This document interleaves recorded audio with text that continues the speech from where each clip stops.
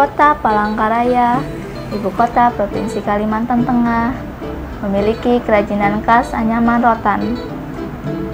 Menganyam rotan bagi pengrajin dalam industri rumah tangga bagaikan menganyam kehidupan.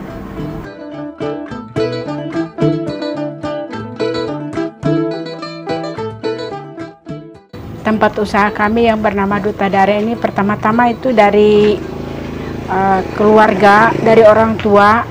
Awalnya kita uh, dari orang tua. Orang tua di kampung.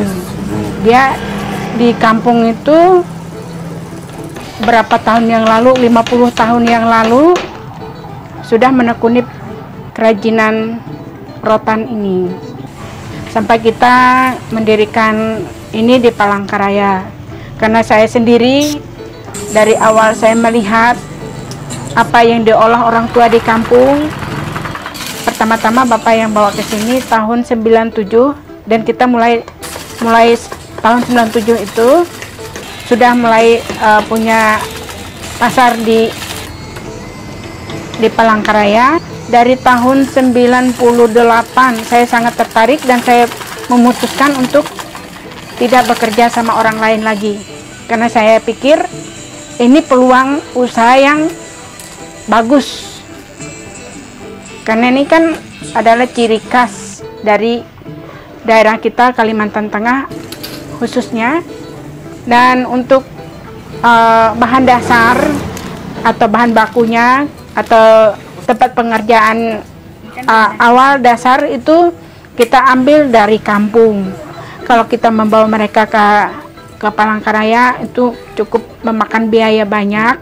Dan di kampung kan prosesnya lebih ini. Kalau di sini kita uh, banyak dalam arti uh, sudah finishing lah. Dan untuk uh, tenaga kerja. Tenaga kerja bagi kami itu kebanyakan di kampung untuk menganyam. Kalau di kampung kita hampir 20 orang bekerja itu. Itu prosesnya tiap hari. Tidak berhenti. Dari dulu sampai sekarang. Proses terus, produksi terus. Dan saya rasa kalau kita prosesnya seperti tadi uh, dari kita mengolah dari awal kita ukur-ukur yang bagus kita dapat ini. Hasilnya juga bagus saya kira. Dan nilai tambahnya juga ada. Ya itu sangat luar biasa. Sangat luar biasa. Dan untuk uh, pekerjaan ini dari awal itu sampai sekarang saya mendapatkan peningkatan yang sangat sangat luar biasa. Tas yang sudah kita modifikasi. Yang awalnya begini yang awalnya cuma sebegini kita olah menjadi begini.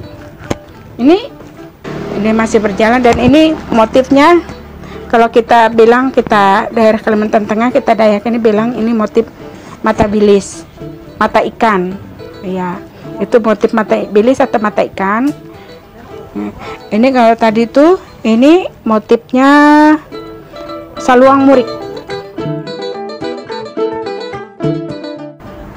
Bahan baku rotan yang diperoleh dari sejumlah kabupaten di Kalteng itu berpindah-pindah tangan sebelum akhirnya menjadi bentuk kerajinan seperti tas, tikar, topi, kotak tisu, sendal, dan berbagai macam produk olahan kerajinan rotan lainnya.